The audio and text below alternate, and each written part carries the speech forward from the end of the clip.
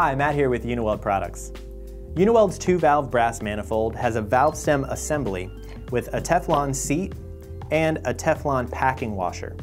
Teflon is an extremely durable material and is compatible with all refrigerants and lubricants used in the HVAC industry. The manifold is an important diagnostic tool that an HVACR technician will use daily.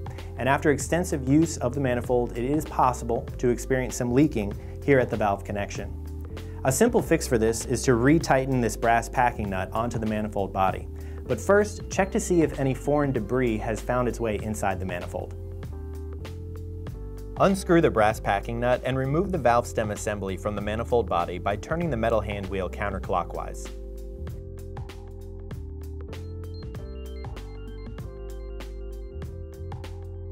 If any foreign debris has found its way inside, it can score the Teflon and prevent it from sealing properly.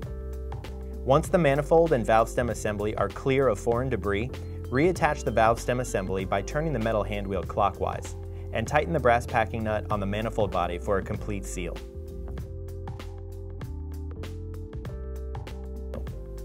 The tightening of the packing nut is done by feel. The nut should be wrenched tight, and the hand wheel should turn to open and close the valve with some resistance. If the hand wheel feels tight and is difficult to turn, you may have over tightened the packing nut and should loosen it slightly.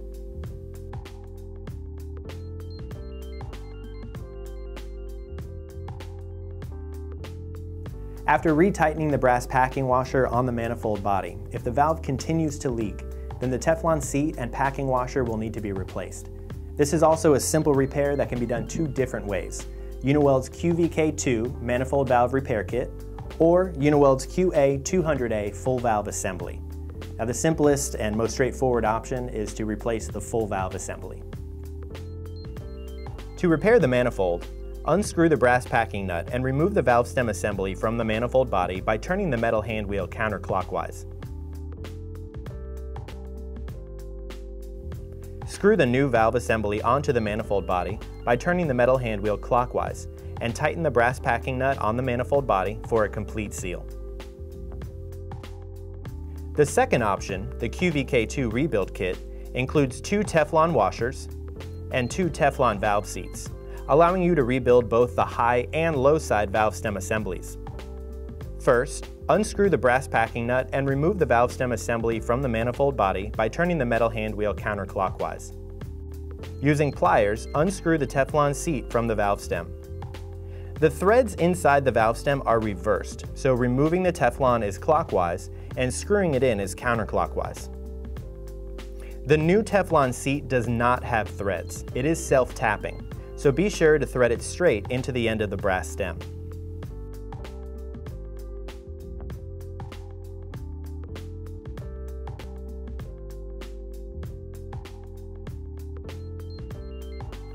Use pliers to fully screw in the Teflon seat.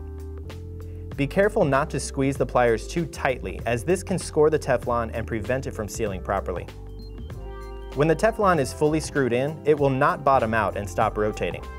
Stop screwing in the Teflon seat once it is flush with the brass valve stem.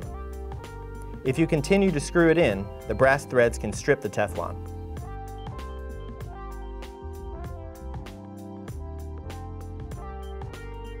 Remove the screw at the end of the valve stem and remove the metal hand wheel, packing nut, brass packing washer, and the old Teflon washer. Leave the flat washer in place and slide the new Teflon washer on the valve stem.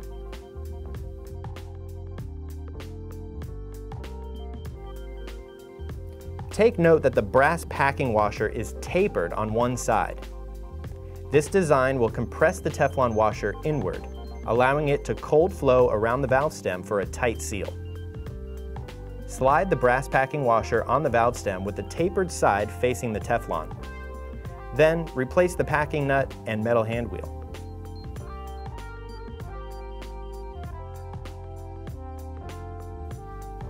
Once the Teflon seat and packing washer have been replaced, the valve stem assembly can be reattached to the manifold body by turning the metal handwheel clockwise. Then, tighten the brass packing nut on the manifold body for a complete seal.